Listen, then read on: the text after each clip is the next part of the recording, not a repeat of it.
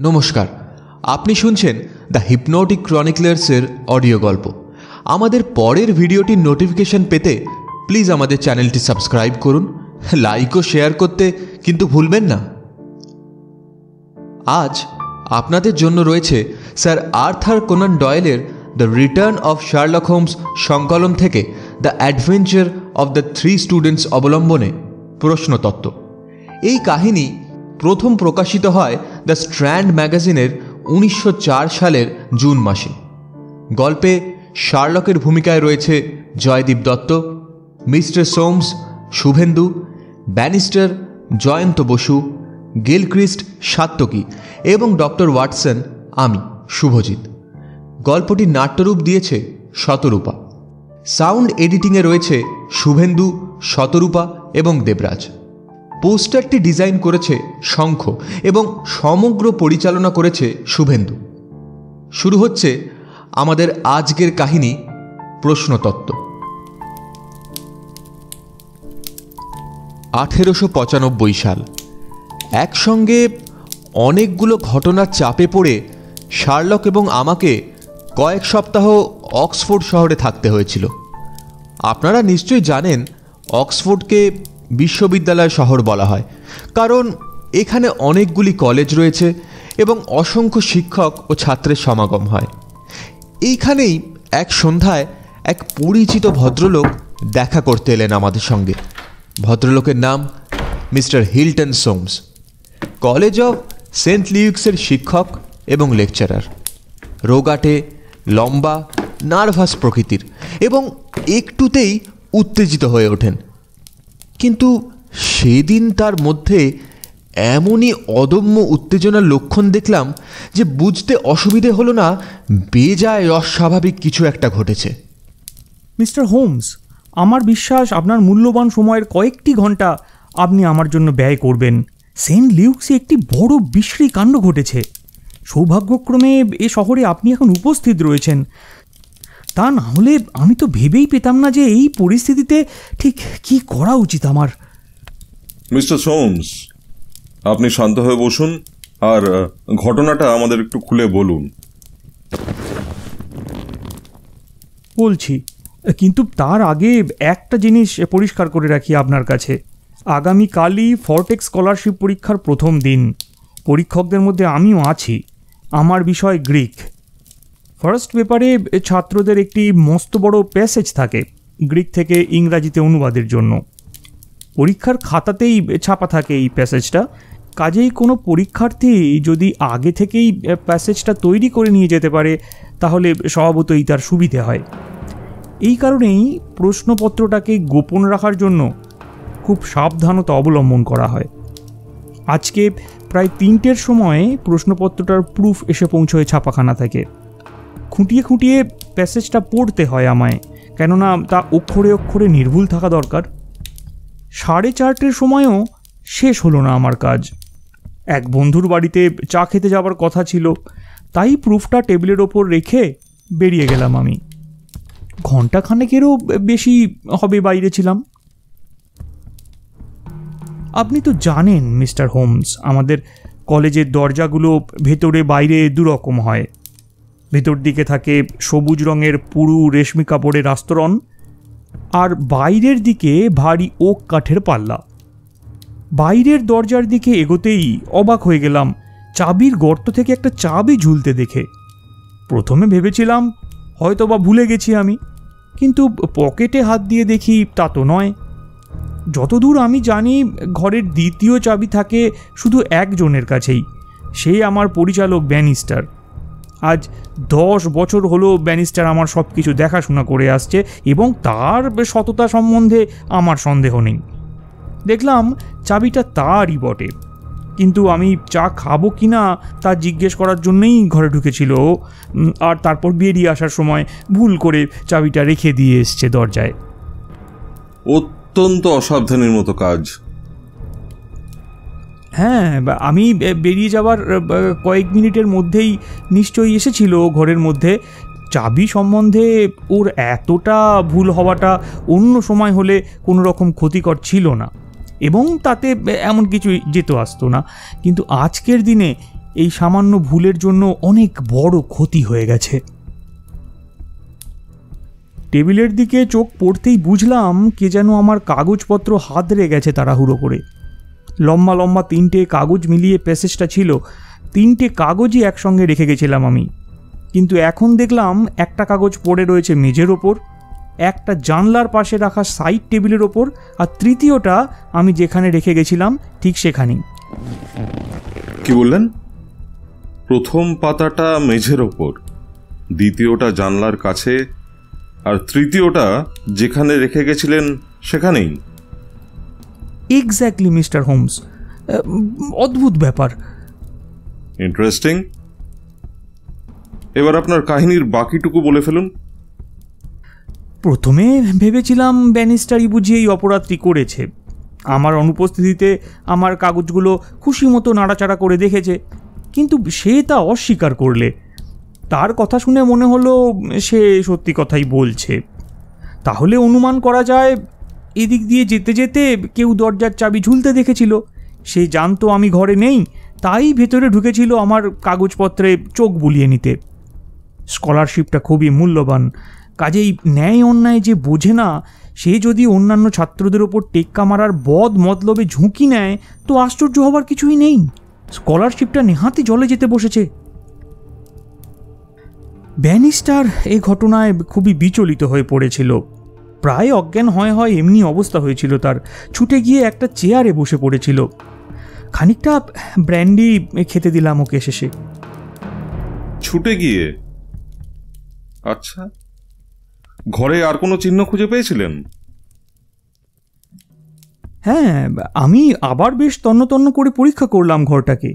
তখনই দেখলাম এদিকে সেদিকে ছড়ানো কাগজ ছাড়াও আগন্তুক তার অনধিকার প্রবেশের আরও কিছু চিহ্ন রেখে গেছে ঘরের মধ্যে। জানলার কাছে টেবিলের ওপর পেন্সিলের কাটা কাঠের কুচো দেখে বুঝলাম একটা পেন্সিল ছুঁচড়ো করা হয়েছিল সেখানে। একটা ভাঙা শিশও পড়েছিল টেবিলের ওপর। অর্থাৎ তাড়াহুড়ো করে কাগজটাকে নকল করতে গিয়ে পেন্সিলের শীষ ভেঙে ফেলেছিল সে। কাজেই বাধ্য হয়ে পেন্সিল ছুলে আবার নতুন শীষ বার করে নিতে হয় তাকে। এক্সেলেন্ট এই সব নয়, মিস্টার হোমস, আরও আছে। আমার লেখার টেবিলটা নতুন। পাতলা মসৃণ লাল চামড়া দিয়ে ঢাকা ওপরটা মোলায়েম চামড়ার ওপরে এতটুকু আঁচড় বা দাগ কোনোদিনই ছিল না।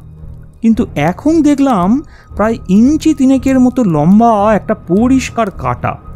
নিছক আঁচড়ের দাগ নয়, সত্যিকারের কাটা। শুধু তাই নয়, টেবিলের ওপরে কাদা মাটি বা অন্য কোনো নরম পদার্থের একটা ছোট্ট বলও পেলাম। বলটার গায়ে ফুটকি দাগ দেখে করাচ্চেরা কাঠের গুঁড়ো বলে মনে হলো। আমার দৃঢ় বিশ্বাস যে লোকটা আমার কাগজপত্র ঘেঁটে গেছে, এসব চিহ্ন তারই। পায়ের ছাপ বা লোকটাকে শনাক্তকরণের অন্য কোনো প্রমাণাদি আমি পেলাম না ঘরে। দেখে শুনে আমার তো বুদ্ধিশুদ্ধি গুলিয়ে গেল। কিন্তু আপনি যে এই শহরেই এখন রয়েছেন, তা আচমকা মনে পড়তেই আসার হালু দেখলাম। তাই সিধে চলে এসেছি এই কেস আপনার হাতে তুলে দিতে। এই ব্যাপার নিয়ে মাথা ঘামাতে পারলে সত্যি খুশি হব আমি। আমার সাধ্যমতো পরামর্শ আমি দেব আপনাকে। কেসটা একেবারেই নিরস নয়। ইন্টারেস্টিং পয়েন্ট কিছু আছে? পেপারগুলো আপনার হাতে আসার পর আপনার সঙ্গে দেখা করার জন্য আপনার ঘরে কেউ এসেছিল কি? হ্যাঁ এসেছিল। হ্যাঁ ওই ওই একই তলায় তরুণ ভারতীয় ছাত্র দৌলত রাম থাকে। পরীক্ষা সম্বন্ধে কয়েকটি খুঁটিনাটি খবরাখবর জানতে এসেছিল ও। পরীক্ষায় সেও বসছে? হ্যাঁ। পেপারগুলো টেবিলের ওপরেই ছিল তাই না? আমার যতদূর মনে হয় গোল করে পাকানো ছিল কাগজগুলো। কিন্তু প্রুফ বলে চেনা তো যেত। সম্ভবত যেত। আর কেউ আসেনি? না। আর কেউ জানতো কি যে আপনার ঘরে প্রুফগুলো আসবে? ছাপাখানার লোক ছাড়া আর কেউ না। ব্যানিস্টার জানতো কি?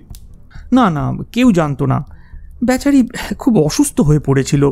চেয়ারে ধপাস করে বসে পড়ার পর ওই অবস্থাতেই তাকে রেখে পড়ি কি মরি করে ছুটে এসেছি আপনার কাছে। দরজা খোলা রেখে এসেছেন? পেপারগুলো আগে তালাচাবি দিয়ে রেখেছি ভেতরে। তাহলে মিস্টার সোমস ব্যাপারটা মোটামুটি দাঁড়াচ্ছে এই ভারতীয় ছাত্র দৌলতরাম যদি পাকানো কাগজগুলোকে প্রুফ বলে চিনে না থাকে তাহলে যে লোকটা কাগজগুলো ঘেঁটেছে সে কিন্তু কাগজগুলো যে ওখানে আছে তা না জেনেই দৈবাত ঢুকে পড়েছিল ঘরের ভেতর। আমারও তাই মনে হয়। চলুন মিস্টার সোমস ঘুরে আসা যাক এক চক্কর।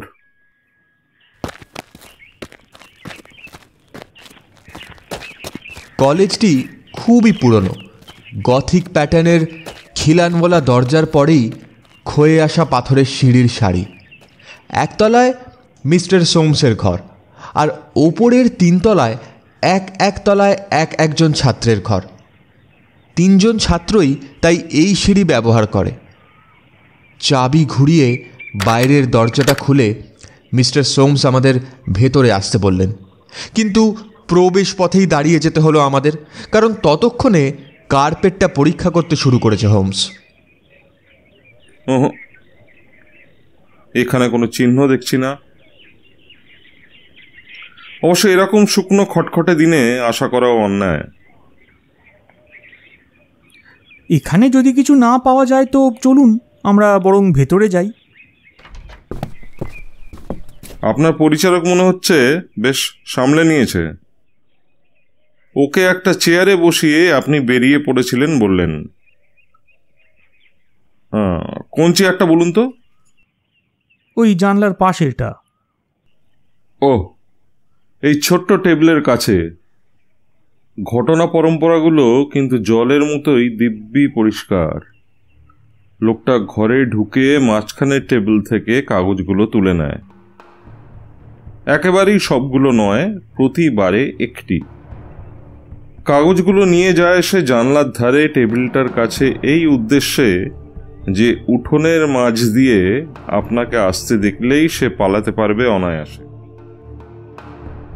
না না, সে তা পারতো না, কেননা আমি পাশের ফটক দিয়ে এসেছিলাম। তা বেশ। সে যাই হোক, এবার দেখা যাক কাগজগুলো। আঙুলের ছাপ নেই। আচ্ছা এইটাই সে প্রথমে নিয়ে যায় জানলার কাছে, নকলও করে। এটা কপি করতে তার কতক্ষণ লাগা উচিত? মিনিট পনেরো তো বটেই। তার কম নয় কিছুতেই। প্রথমটা হয়ে যেতেই ছুঁড়ে ফেলে দিয়ে পরেরটা তুলে নিল। এই নিয়েই যখন সে ব্যস্ত, ঠিক তখনই এসে পড়লেন আপনি। তাড়াতাড়ি গা ঢাকা দিতে হলো তাকে। মনে রাখবেন, খুব তাড়াতাড়ি তাকে পালাতে হয়েছে।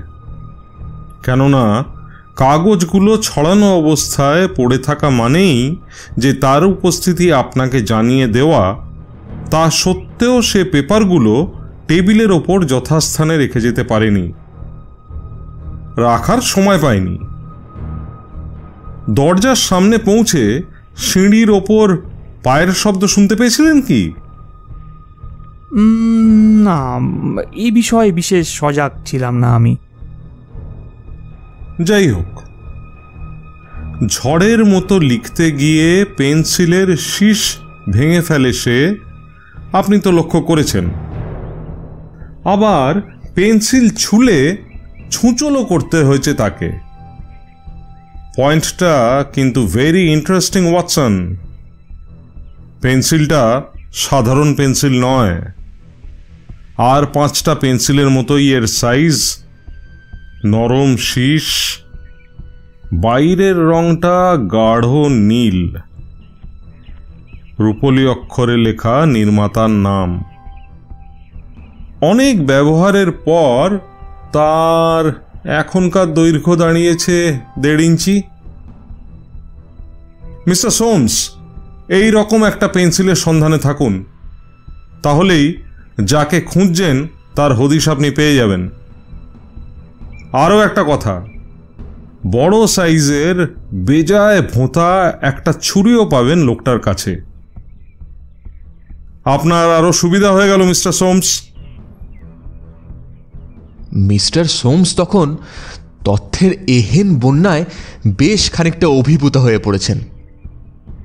ও- অন্যান্য পয়েন্টগুলো না হয় বুঝলাম কিন্তু দৈর্ঘ্য সম্বন্ধে যা বললেন ছোট্ট একটা কুচো তুলে নিল হোমস।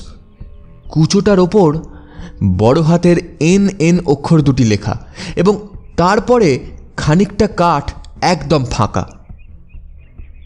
দেখছেন তো? না মানে এখনও ঠিক বুঝতে পারছি না। ওয়াটসন এই এন এন অক্ষর দুটো কি হতে পারে বলো তো? একটা শব্দের শেষের দুটো অক্ষর। তুমি তো জানো জোহান ফ্যাবার হচ্ছে সবচেয়ে নামকরা পেন্সিল নির্মাতার নাম। জোহান শব্দটার পর সাধারণত পেন্সিলের কতখানি অংশ অবশিষ্ট থাকে তা অনুমান করা কি খুব কঠিন? ছোট টেবিলটাকে কাত করে আলোর দিকে ফিরিয়ে ধরল হোমস। ভেবেছিলাম যে কাগজে সে লিখেছে তা যদি পাতলা হতো তাহলে পেন্সিলের চাপে কিছু কিছু চিহ্ন ফুটে উঠত পালিশ করা চকচকে টেবিলের ওপর। না, তেমন কিছুই দেখছি না। এখানে আর কিছু জানা যাবে বলে তো মনে হয় না। এবারে মাঝখানে টেবিলটা পরীক্ষা করা যাক।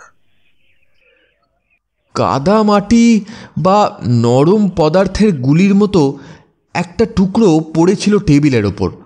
আকারে মোটামুটি পিরামিডের মতো। হাতে তুলে নিয়ে পরীক্ষা করল হোমস। হুম। ভেতরটা প্রায় ফাঁপা। ঠিকই বলেছেন, মিস্টার সোমস। কাঠের গুঁড়োর মতো এই কয়েকটা কণা দেখা যাচ্ছে বটে। সর্বনাশ। এ তো দেখছি দারুণ ইন্টারেস্টিং জিনিস। আর এই কাটাটা দেখছি সত্যি সত্যি ছিঁড়ে দুভাগ হয়ে গেছে চামড়াটা। শুরু হয়েছে পাতলা আঁচড় দিয়ে শেষ হয়েছে খাঁচকাটা গর্তে। বলতে বলতে পাশের ঘরে যাবার দরজার সামনে গিয়ে দাঁড়াল হোমস। মুখ চোখ দেখে মনে হলো কেসটা খুবই উপভোগ করছে। এ দরজা দিয়ে কোথায় যাওয়া যায়? আমার শোবার ঘরে।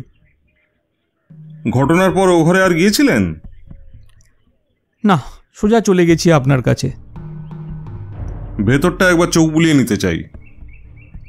আমরা ঘরটা পরীক্ষা করতে ঢুকলাম। সেকেলে কায়দায় সুন্দরভাবে সাজানো ঘর। নিচু বিছানা পাশে আলমারি ঘরের এক পাশটা পর্দা দিয়ে ঘেরা। হোমস সতর্কভাবে পর্দায় হাত দিয়ে বলল এ পর্দাটা কিসের? পেছনে জামা কাপড় রাখা হয় বুঝি? এ ঘরে যদি কেউ লুকোতে চায়, তাহলে তার আদর্শ স্থান হলো এইখানটা। কেউ নেই বলেই তো মনে হয়, তাই না? পর্দাটা টেনে সরিয়ে দিল হোমস। আমি কিন্তু ওর সামান্য শক্ত হয়ে ওঠা আর ভাবভঙ্গির সজাগ সতর্কতা দেখেই বুঝেছিলাম, আচমকা কারও বেরিয়ে আসার জন্যই প্রস্তুত হয়ে ও পর্দায় হাত দিয়েছে। কিন্তু প্রকৃতপক্ষে পর্দা সরানোর পর আলনা থেকে ঝোলানো তিন চারটে স্যুট ছাড়া আর কারও টিকিটিও দেখা গেল না। ঘুরে দাঁড়াল হোমস আর তারপরেই হঠাৎ ঝুঁকে পড়ল মেঝের ওপর। আরে আরে এটা কি? জিনিসটা একটা ছোট্ট পিরামিড কালো রঙের পুটিন জাতীয় উপাদানে তৈরি। পড়াশুনো করার ঘরের টেবিলের ওপর যে পিরামিডটি পাওয়া গেছে হুবহু সেই রকম। হাতের তালুর ওপর জিনিসটা রেখে আলোর নিচে ধরল হোমস। আগন্তুক শুধু আপনার বসবার ঘরেই নয় শোবার ঘরেও তার আগমনের চিহ্ন রেখে গেছে দেখছি। কিন্তু এখানে তার কি দরকার? আমার তো মনে হয় তা অনুমান করা মোটেই কঠিন নয়। অপ্রত্যাশিত পথে দুম করে ফিরে এলেন আপনি। কাজেই আপনি একেবারে দোরগোড়ায় না এসে পৌঁছানো পর্যন্ত হুঁশিয়ার হওয়ার মতো কোনো সুযোগই পেল না সে। ক্ষেত্রে কি করা উচিত তার? যে যে জিনিসগুলো তাকে ধরিয়ে দেবে, সেইগুলোই দুহাতে তুলে নিয়ে তীর বেগে ঢুকে পড়ল সে আপনার শোবার ঘরে। Oh my god mister Holmes আপনি তাহলে কি বলছেন যে যতক্ষণ ব্যানিস্টারের সঙ্গে ওই ঘরে আমি কথা বলছিলাম ততক্ষণ আসল লোকটি ঘাপটি মেরেছিল এই ঘরে? আর আমি তার কিছুই জানতে পারিনি। তাই তো দেখছি। আর একটা রাস্তা আছে মিস্টার হোমস। আমার শোবার ঘরের জানলাটা লক্ষ্য করেছেন কি? হ্যাঁ করেছি।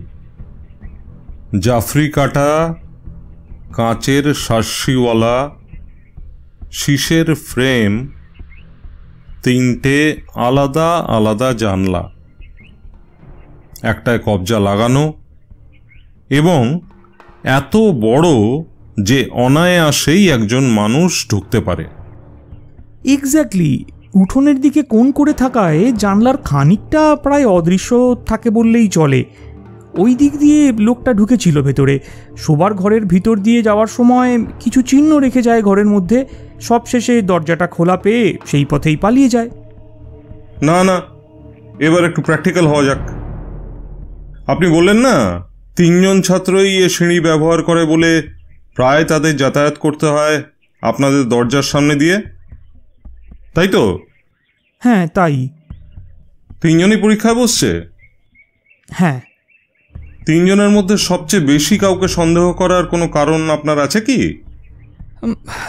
এই বড় কঠিন প্রশ্ন করলেন মিস্টার হোমস। যেখানে কোনো প্রমাণ নেই সেখানে চট করে কেউ কি কাউকে সন্দেহ করতে পারে? সন্দেহই শোনা যাক। প্রমাণ খোঁজার ভার আমার। দেখুন তিন ঘরের তিন বাসিন্দার চরিত্র সম্বন্ধে যা জানি বলছি তারপর আপনি ঠিক করবেন। নিচের তলায় থাকে গিলক্রিস্ট। ছাত্র হিসেবে ভালো, খেলোয়াড় হিসেবেও সুনাম আছে। কলেজে রাগবি আর ক্রিকেট টিমে খেলে। হার্ডলস আর লং জাম্পে চ্যাম্পিয়ন হয়েছে। চমৎকার ছেলে সে। রেস কোর্সে যিনি সর্বশান্ত হয়েছিলেন না, সেই কুখ্যাত স্যার গাবেজ গিলক্রিস্ট, ওর বাবা। ছেলে কিন্তু খুবই গরিব, তাহলেও সে কঠোর পরিশ্রমী আর অধ্যাবসায়ী। পরীক্ষায় ওর ফলাফল ভালোই হবে। দোতলায় থাকে ভারতীয় ছাত্র দৌলতরাম। ছেলেটি শান্তশিষ্ট, দুর্বোধ্য এবং আগাগোড়া রহস্যময়। মানে সব ভারতীয়ই যা হয় তাই আর কি। পড়াশুনো এসে ভালোই, যদিও সব সাবজেক্টের মধ্যে গ্রিকেই সে কাঁচা। উপরের তলাটা মাইলস ম্যাকলারেনের। এই ইউনিভার্সিটির উজ্জ্বলতম প্রতিবাদের অন্যতম সে। কিন্তু সে উচ্ছৃঙ্খল আর নীতিহীন। ফার্স্ট ইয়ারে পড়ার সময় তাস খেলা নিয়ে একটি কেলেঙ্কারি হওয়ায় কলেজ থেকে নাম কাটিয়ে তাকে তাড়িয়ে দেওয়ার উপক্রম হয়েছিল। এবারের পুরো পাঠক্রমটা সে ফাঁকি দিয়েছে। কাজেই নিশ্চয়ই এই পরীক্ষা একটা বিভীষিকা হয়ে দাঁড়িয়েছে তার কাছে। তাহলে একেই আপনি সন্দেহ করেন বলুন। অত দূর যাওয়ার সাহস আমার নেই। তবে তিনজনের মধ্যে সবচেয়ে কম সন্দেহ যদি কাউকে করতে হয় তাহলে সে হয়তো মাইলস ম্যাকলারের নয়। এক্স্যাক্টলি মিস্টার সোমস এবার আপনার পরিচারক ব্যানিস্টারকে একটু দেখতে চাই। এরপর মিস্টার সোমসের পরিচালক ব্যানিস্টারকে ডেকে পাঠানো হলো। লোকটা আকারে ছোটোখাটো। সাদাটে পরিষ্কার কামানো মুখ কাঁচা পাকা চুল বছর পঞ্চাশ বয়স। চোখে মুখে সন্ত্রস্ত ভাব স্পষ্ট। এই ঘটনার জন্য তখনও কষ্ট পাচ্ছিল সে। স্নায়বীয় দুর্বলতার জন্য থেকে থেকে কেঁপে কেঁপে উঠছিল তার গোলগাল মুখ। হাতের আঙুলগুলো পর্যন্ত স্থির রাখতে পারছিল না বেচারি। শোনো এই যাচ্ছে তাই ব্যাপারটার একটা বিহিত করা দরকার। তাই আমরা তদন্ত শুরু করেছি ব্যানিস্টার। ইয়েস স্যার শুনলাম দরজায় চাবি ফেলে গেছিলে তুমি? ইয়েস স্যার যেদিন পেপারগুলো ঘরের মধ্যে এলো ঠিক সেই দিনই চাবি খুলে নিতে ভুলে গেলে তুমি? আমার কপাল খারাপ স্যার কিন্তু এর আগেও মাঝে মাঝে এমন ভুল আমার হয়েছে। ঘরে ঢুকেছিলে কখন? সাড়ে চারটা নাগাদ? মিস্টার সোমসের চায়ের সময় তখন। কতক্ষণ ছিলে ঘরের ভেতর? উনি ঘরে নেই দেখে তখনই বেরিয়ে যাই আমি। টেবিলের ওপর রাখা পেপারগুলো লক্ষ্য করেছিলে? না স্যার। দরজা থেকে চাবি খুলে নিতে ভুলে গেলে কেমন করে? আমার হাতে চায়ের ট্রে ছিল। ভাবলাম ফিরে এসে নিয়ে যাব চাবিটা। তারপর ভুলে গেছি। বাইরের দরজায় কি স্প্রিংয়ের তালা লাগানো আছে? না স্যার। তাহলে সর্বক্ষণই খোলা ছিল দরজাটা। Yes sir. মিস্টার সোমস ফিরে এসে তোমাকে যখন ডেকে পাঠান তখন তুমি বিচলিত হয়ে পড়েছিলে? ইয়েস স্যার এত বছর ধরে এখানে আছি। কিন্তু এরকম ঘটনা তো কোনো দিন ঘটেনি। প্রায় জ্ঞান হারানোর মতো অবস্থা হয়েছিল আমার। তা তো বটেই। যখন বুঝলে শরীর খারাপ লাগছে তখন কোনখানটায় ছিলে তুমি? কোনখানে ছিলাম স্যার? কেন? এইখানে দরজার পাশেই। আশ্চর্য ব্যাপার তো। এতটা পথ গিয়ে দূরের কোণে ওই চেয়ারটায় বসেছিলে? মাঝের এই চেয়ারে বসলে না কেন শুনি? জানি না স্যার। বসার জায়গা নিয়ে তখন আমি এত ভাবিনি। এই ব্যাপারে ও যে বিশেষ কিছু জানে তা আমার মনে হয় না মিস্টার হোমস। খুবই অসুস্থ দেখাচ্ছিল ওকে। মিস্টার সোমস চলে যাওয়ার পর এ ঘরে ছিলে তুমি? মিনিট খানেকের জন্য ছিলাম তারপর দরজায় তালা দিয়ে নিজের ঘরে চলে যাই আমি। কাকে সন্দেহ হয় তোমার? কারও নাম করার আমার সাহস হয় না স্যার। এ ধরনের নোংরা কাজ করে লাভবান হওয়ার মতো প্রবৃত্তি এই ইউনিভার্সিটিতে কোনো ভদ্রলোকের আছে বলে মনে হয় না আমার। ধন্যবাদ হতেই হবে। ওহো আরও একটা কথা। এই যে তিনজন ভদ্রলোকের দেখাশুনো করো তুমি ওদের কাউকে বলনি তো? এখান থেকে কিছু চুরি গেছে? না স্যার। কিছু বলিনি। ওদের কারোর সঙ্গে দেখা হয়েছে? না স্যার। বেশ বেশ। তুমি এখন যাও। ইতিমধ্যেই বাইরে সন্ধ্যের অন্ধকার নেমে আসছিল। ঘরে জ্বলে উঠেছে হলদে রঙের আলো। হোমস ঘর থেকে বেরিয়ে সামনে খোলা চত্বরে এসে ওপর দিকে তাকালো। ওপরে নিচে তিনজন ছাত্রের ঘরেই আলো জ্বলতে দেখা গেল। পর্দার ওপর আচমকা ভেসে উঠল ভারতীয় ছাত্রের কুচকুচে কালো ছায়া। দ্রুত পদক্ষেপে ঘরের এদিক থেকে ওদিক পর্যন্ত পায়চারি জুড়েছিল সে। আপনার ছাত্রদের সঙ্গে একবার দেখা করতে চাই। সম্ভব হবে কি? হ্যাঁ কোনো অসুবিধা নেই। আসুন আমি নিজেই নিয়ে যাচ্ছি আপনাদের। মিস্টার সোমস নিজেই আমাদের পথ দেখিয়ে গিলক্রিস্টের দরজার সামনে নিয়ে এলেন। দরজায় টোকা মারার সঙ্গে সঙ্গে ছিপছিপে চেহারার দীর্ঘাকৃতি এক যুবক দরজা খুলে দিল। সোনালি রেশমের মতো এক মাথা হালকা চুল। প্রাচীন ঐতিহ্যবাহী কলেজের সবচেয়ে পুরনো ঘর বলে দর্শনার্থীর আগমন মোটেই অস্বাভাবিক নয়। আমরাও সেই পরিচয়েই ভেতরে গেলাম। আমাদের আগমনের উদ্দেশ্য শুনে সাদরে অভ্যর্থনা জানালো ভেতরে।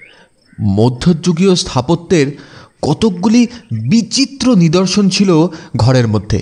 সত্যি সত্যি দেখবার মতো। একটা জিনিস দেখে তো হোমস এমনই মুগ্ধ হয়ে গেল যে নিজের নোট বইয়ের পাতায় তা আঁকতে শুরু করে দিল। পেন্সিলের শীষ ভেঙে যাওয়ায় গিলক্রিস্টের কাছ থেকে একটা পেন্সিল ধার চেয়ে নিল। আর সব শেষে একটা ছুরি দিয়ে ছুঁচলো করে নিল নিজের পেন্সিলটা। এই আশ্চর্য দুর্ঘটনার পুনরাবৃত্তি ঘটল ভারতীয় ছাত্রের ঘরেও। ছেলেটি স্বল্পভাষী, খর্বকায়, ব্যাকানো নাক। আর চোখে আমাদের কার্যকলাপ লক্ষ্য করতে লাগল সে। হোমসের স্থাপত্য সম্পর্কিত অধ্যয়ন শেষ হলে যেন হাঁপ ছেড়ে বাঁচল। বেশ বুঝলাম, আমাদের বিদায় দিয়ে খুশি হলো সে। কিন্তু উভয় ক্ষেত্রেই হোমস যে কোনো সূত্রের সন্ধান পায়নি, তা পরিষ্কার বুঝতে পারলাম ওর মুখ দেখে। তৃতীয়বার দরজায় টোকা মারা সত্ত্বেও দরজা খোলা তো দূরে থাক, ভেতর থেকে একরাশ গালাগালি ভেসে এলো। কাল তার পরীক্ষা, আজকে কারও ক্ষমতা নেই তাকে বাইরে বার করে। ছেলেটির এই ব্যবহারে খুবই বিরক্ত হলেন মিস্টার সোমস। বললেন, ওর স্বভাবটাই ওই রকম অভব্য, অভদ্র আর এই রকম অবস্থায় তো বাস্তবিকই সন্দেহজনক। ও অবশ্য জানতো না যে আমি টোকা মেরেছি দরজায়। ওর সঠিক উচ্চতাটা বলতে পারেন? মিস্টার হোমস তা বলা মুশকিল। ভারতীয় ছাত্রের চেয়ে ও লম্বা বটে তবে গিল ক্রিস্টের মতো অতটা নয়। আমার তো মনে হয় পাঁচ ফুট ছ ইঞ্চির ধারে কাছে হবে। খুব দরকারি point. Good night mister Soames oh my god mister Holmes এভাবে আমাকে অকুল পাথারে ফেলে সত্যি সত্যি আপনি দুম করে চললেন? পরিস্থিতিটা এখনও উপলব্ধি করতে পারছেন বলে তো আমার মনে হচ্ছে না। আগামীকাল পরীক্ষা। আজ রাতেই পাকাপাকি কিছু ব্যবস্থা আমায় করতেই হবে। প্রশ্নপত্র ফাঁস হয়ে যাওয়ার পরে তো পরীক্ষায় আমি বসতে দিতে পারি না। যেমন আছে তেমনই চলুক। কিছু রদবদল করবেন না। কাল ভোরের দিকে এখানে আসছি তখনই এ প্রসঙ্গে কথা বলব।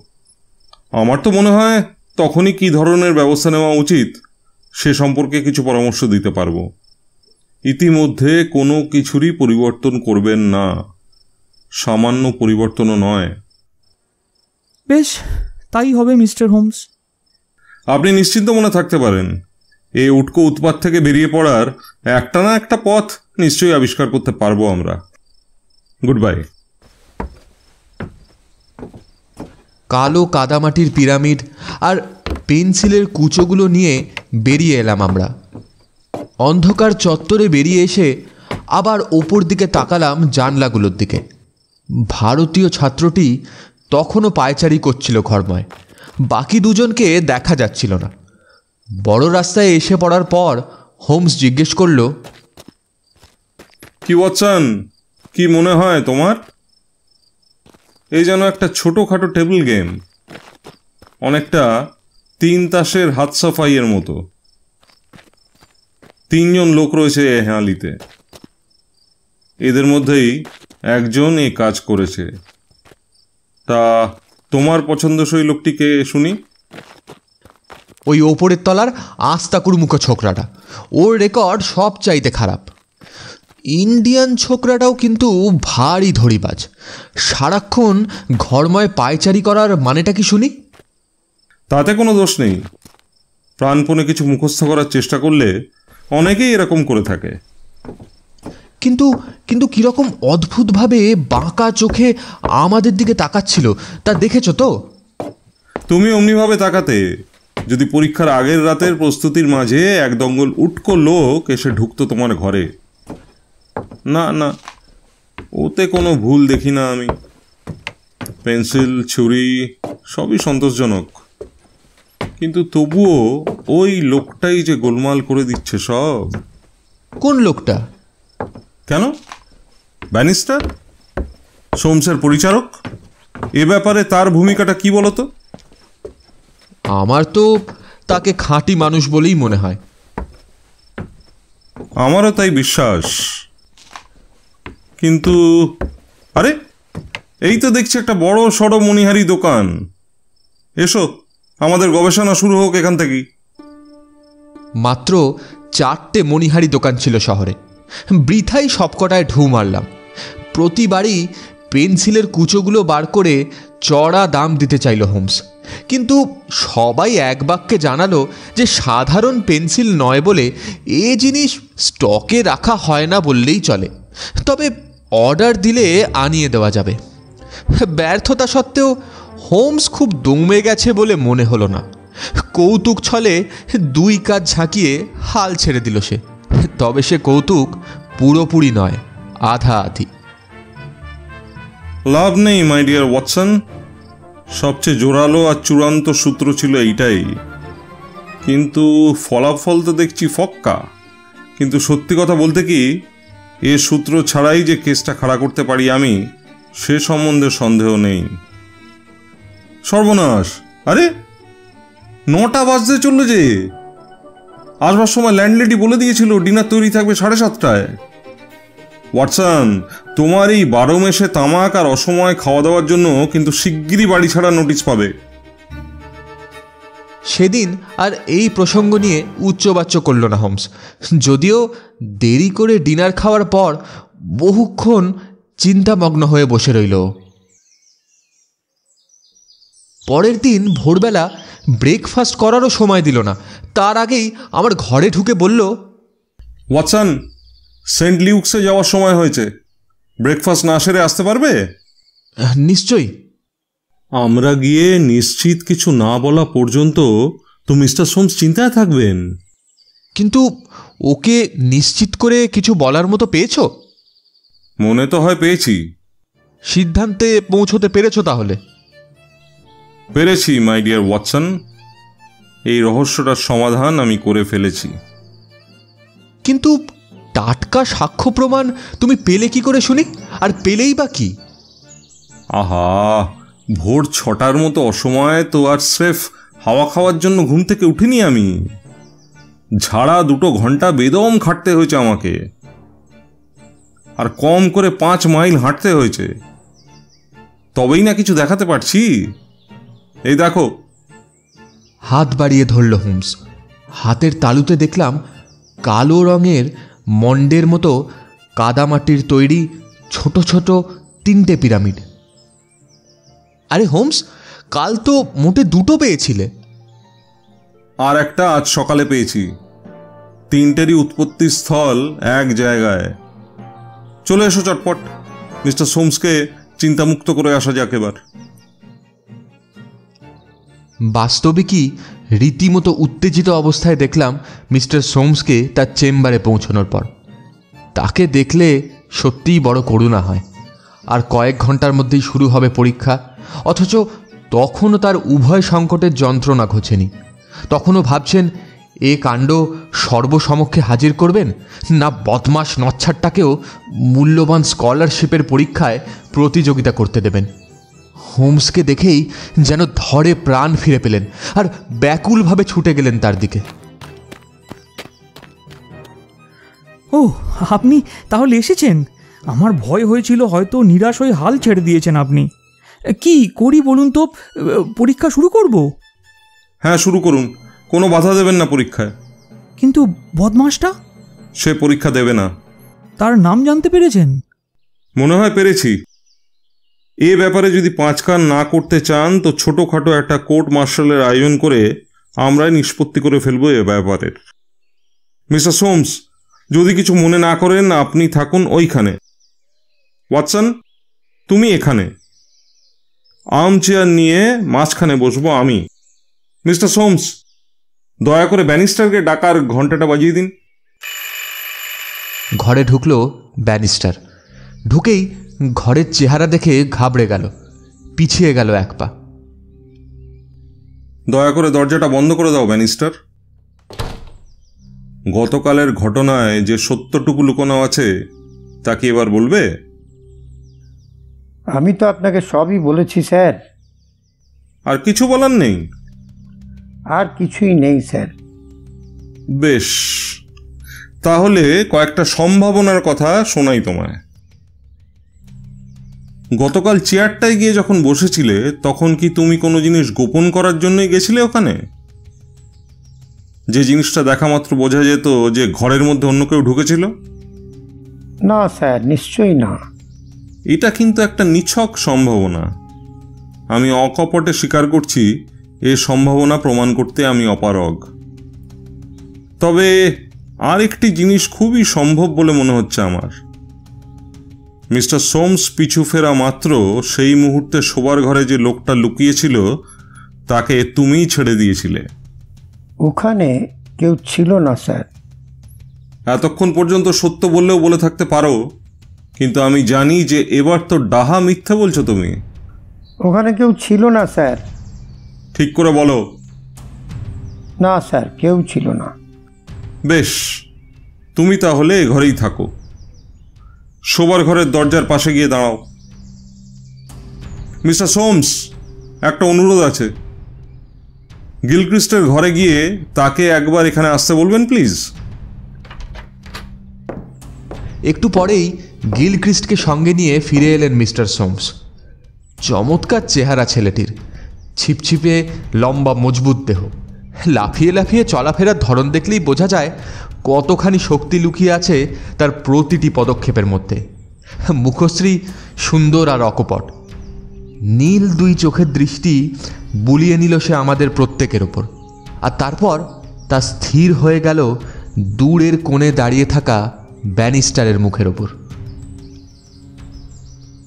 দরজাটা বন্ধ করে দিন, মিস্টার গিলক্রিস্ট। এখানে আমরা ছাড়া আর কেউ নেই। এবং আমাদের কথোপকথনের একটি অক্ষরও বাইরে কেউ কোনো দিন জানতে পারবে না। কাজেই অনায়াসেই মন খুলে কথা বলতে পারি আমরা। মিস্টার গিলক্রিস্ট, আমরা জানতে চাই আপনার মতো এরকম আত্মমর্যাদা সম্পন্ন মানুষ গতকালের এই গর্হিত কাজটা করলেন কি করে? টলমলিয়ে উঠে পিছু হটে গেল গিলক্রিস্ট। আর তারপরেই বড় বড় চোখে তাকালো ব্যানিস্টারের দিকে। সে চোখে পাশাপাশি ফুটে উঠল আতঙ্ক আর তিরস্কার। না না মিস্টার গিলক্রিস্ট একটা কথাও আমি বলিনি একটা কথাও না। না বলনি। কিন্তু এবার তো বললে। মিস্টার গিলক্রিস্ট এবার বুঝতে পেরেছেন তো, ব্যানিস্টারের এই কথার পর আর কোনো আশা নেই আপনার? এখন আপনার একমাত্র পথ হচ্ছে অকপটে সব কিছু স্বীকার করা। মুহূর্তের জন্য দুহাত তুলে দারুণ আক্ষেপে থরথর করে কেঁপে ওঠা দেহটাকে সামলে নিয়েই সে হাঁটু মুড়ে বসে পড়ল টেবিলের পাশে এবং দুই হাতে মুখ ঢেকে কান্নায় ভেঙে পড়ল। তাকে ফুঁপিয়ে ফুঁপিয়ে কাঁদতে দেখে হোমস বলল আস্তে আস্তে। মানুষ মাত্রেরই ভুল হয়। আর তাছাড়া আপনাকে দাগি ক্রিমিনাল হওয়ার অপবাদ তো কেউ দিচ্ছে না। আপনার বদলে আমি সমস্ত ঘটনাটা বলছি মিস্টার সোমসকে। আমার ভুলটুল হলে শুধরে দেবেন? মিস্টার সোমস, যে মুহূর্তে আপনি আমায় বললেন যে আর কেউ তো নয় এমনকি ব্যানিস্টারের পক্ষেও জানা সম্ভব ছিল না আপনার ঘরে পেপারগুলোর উপস্থিতি। ঠিক তখন থেকেই কেসটা একটা স্পষ্ট রূপ নিতে শুরু করল আমার মনের মধ্যে। অবশ্য ছাপাখানার লোকে জানতো, কিন্তু সে সম্ভাবনা নাকচ করে দিলাম। কেননা, সে তো অফিসেই পরীক্ষা করতে পারত কাগজগুলো। ভারতীয় ছাত্রের সম্বন্ধেও কিছু ভাবিনি আমি। পাকানো অবস্থায় থাকলে কাগজগুলো আসলে কিসের, তা তো আর তার পক্ষে জানা সম্ভব নয়। সুতরাং তাও বাদ দিলাম। ঘরে যে ঢুকেছিল, সে জানতো পেপারগুলো টেবিলের ওপর আছে।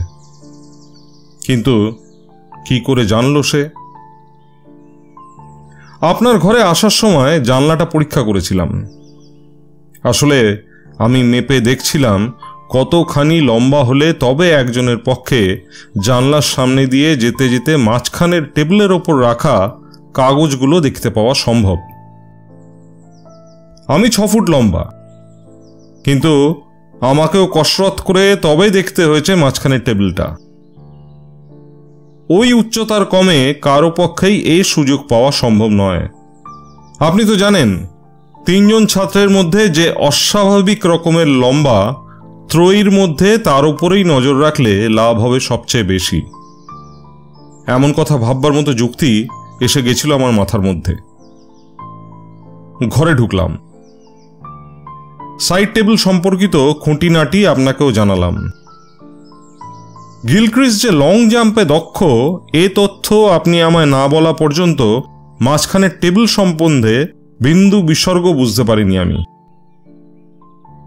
তখনই সমস্ত জিনিসটা ভেসে উঠল আমার মনের পর্দায়। বাকি রইল শুধু থিওরিকে বলবৎ করার জন্য কয়েকটি প্রমাণ সংগ্রহের। এবং তাও আমি পেলাম অচিরেই। যা ঘটেছিল তা শুনুন। সারা বিকেলটা খেলার মাঠে লং জাম্প প্র্যাকটিস করে লাফাবার জুতো কাঁধে ঝুলিয়ে ফিরে আসে সে। জানেন তো, এ ধরনের জুতোর তলায় প্রচুর কাঁটা লাগানো থাকে। জানলার সামনে দিয়ে যাওয়ার সময় বেজায় লম্বা হওয়া দরুন টেবিলের ওপর রাখা প্রুফগুলো সে দেখতে পায়। সঙ্গে সঙ্গে বুঝে নেয় জিনিসগুলো কি। কোনো ক্ষতি হতো না যদি না দরজার সামনে দিয়ে যাওয়ার সময় আপনার অসাবধানী পরিচালকের ফেলে যাওয়া চাবিটা দেখতে পেত সে। আচমকা একটা ঝোঁক চেপে বসে ওর মনে। ভেতরে ঢুকে দেখতে হবে কাগজগুলো সত্যিই প্রুফ কিনা। কাজটা দুঃসাহসের, কিন্তু বিপজ্জনক নয়। কেননা, ধরা পড়ে গেলেই সাফাই গেয়ে দিত সে যে নিছক একটা প্রশ্ন করার জন্যই সে ঘরে ঢুকেছে। কিন্তু যখনই দেখলে যে কাগজগুলি বাস্তবিকই প্রশ্নপত্রের প্রুফ তখন আর প্রলোভনের খপ্পর থেকে নিজেকে সরিয়ে রাখতে পারলে না সে। জুতো দুটো নামিয়ে রাখলে টেবিলের ওপর। জানলার কাছে ওই চেয়ারটায় কি রেখেছিলেন বলুন তো? দস্তানা মানে গ্লাভস বিজয় গৌরবে ব্যানিস্টারের দিকে তাকালো হোমস। গ্লাভসগুলো চেয়ারের উপর রেখে প্রুফগুলো তুলে নিল সে। একসঙ্গে সবগুলো নয়। এক, একটা করে নিল নকল করার জন্য। ও ভেবেছিল, মাস্টারমশাই নিশ্চয়ই প্রধান ফটক দিয়ে ঢুকবেন এবং জানলা থেকেই আপনাকে দেখতে পাবে সে।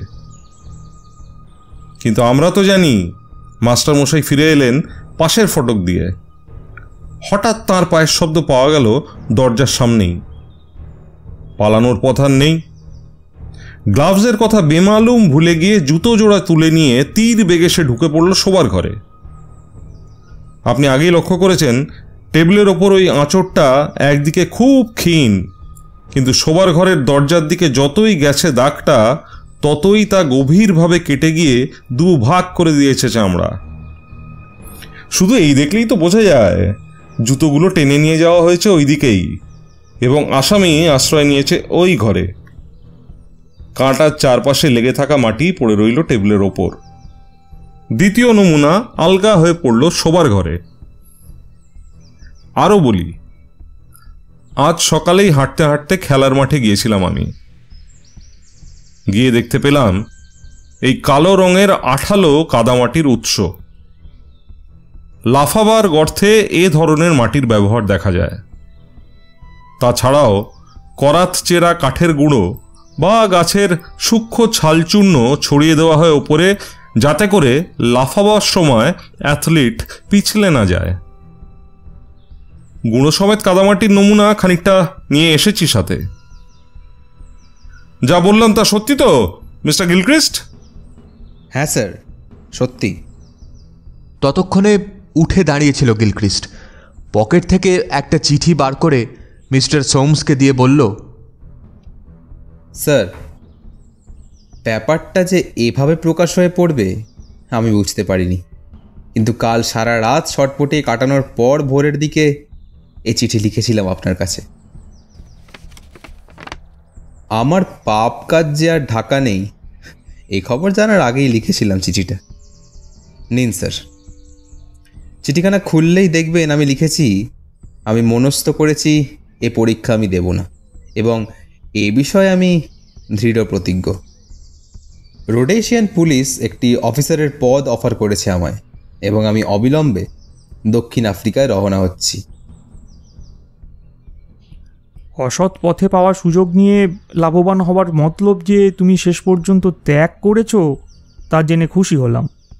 কিন্তু মত পরিবর্তন কেন করলে শুনি? আঙুল তুলে ব্যানিস্টারকে দেখাল গিলক্রিস্ট। ওই সেই মানুষটি যে আমায় ঠিক পথে চালনা করেছে।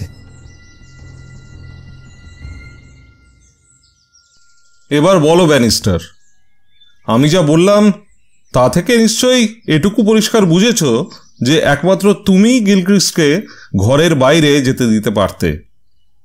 কেননা ঘরে ছিলে তুমি।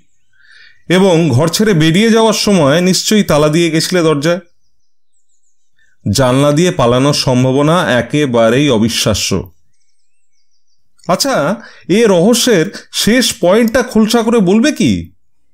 তোমার এরকমের আচরণের অর্থটা কি, তা তো বুঝলাম না।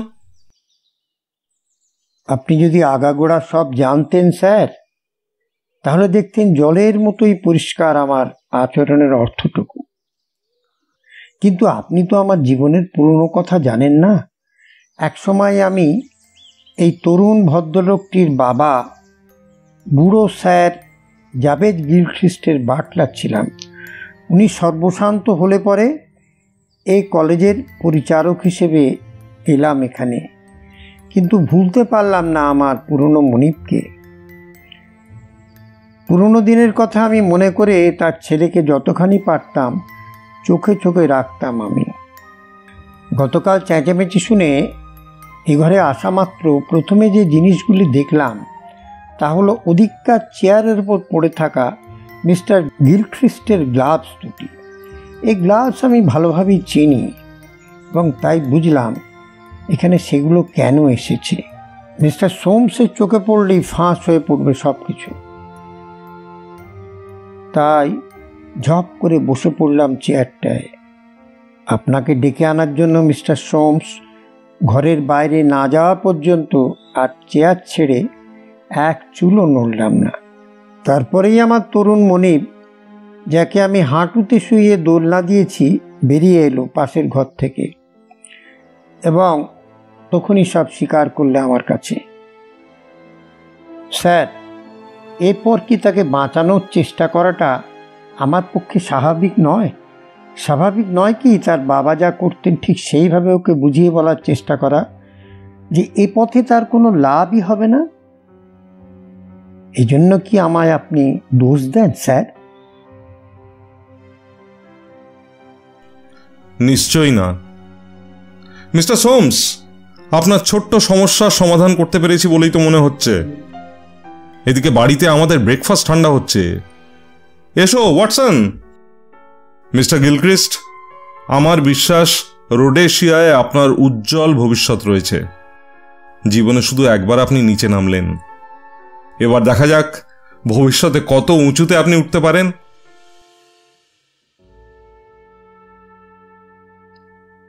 এতক্ষণ শুনছিলেন শার্লক হোমসের গল্প প্রশ্নতত্ত্ব। আমাদের পরিবেশনা ভালো লেগে থাকলে প্লিজ আমাদের ভিডিওটি লাইক করুন, শেয়ার করুন, আর কমেন্ট বক্সে অবশ্যই লিখে জানান আপনার অভিজ্ঞতা। সাবস্ক্রাইব করতে কিন্তু ভুলবেন না। ধন্যবাদ।